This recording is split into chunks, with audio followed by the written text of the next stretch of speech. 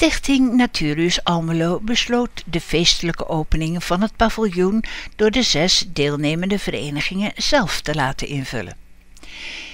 In de reeks activiteiten zoals Jan Terlouw, het Oogstfestival, de Nacht van de Nacht, de Inspiratieavond Natuurfotografie en 70 jaar IVN was het nu de beurt aan Groei en Bloei die volgens een oude traditie een magnolia planten.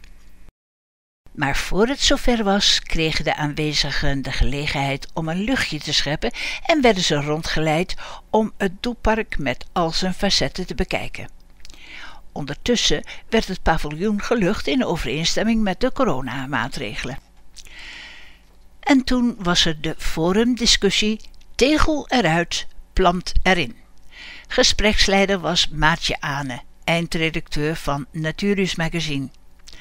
Frank Naber, landelijk voorzitter van KMTP Groei en Bloei, Evelien Gerritsen van IVN Almelo, Jan Marten van Rees, wijkwethouder van het centrum en beheer openbare ruimte, Hans van Achteren, dagelijks bestuurslid van Waterschap Vechtstromen. En Michael Seijboom, directeur van Landschap Overijssel, gingen aan de slag met klimaatadaptatie.